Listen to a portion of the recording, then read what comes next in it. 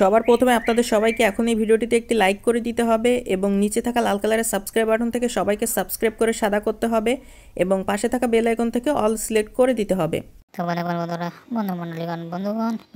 দিয়ে শেষ দেখুন, তো বন্ধুগণ, আমরা অবস্থাতেই একটি সুন্দর এবং চমৎকার গ্রিন স্ক্রিন ব্যাকগ্রাউন্ডে আমরা ব্যাকগ্রাউন্ডের মধ্যে সুন্দর করে সিলেক্ট করি। করার পর আমরা প্লাস এখানে ক্লিক করার মাধ্যমে গ্যালারির মধ্যে হয়তো একটি আঙ্গিতে চমৎকার সুন্দর একটি ছবি সিলেক্ট করে নিই। সেটিকে গ্রিন স্ক্রিন ব্যাকগ্রাউন্ডের মধ্যে সুন্দর করে বসিয়ে নিই।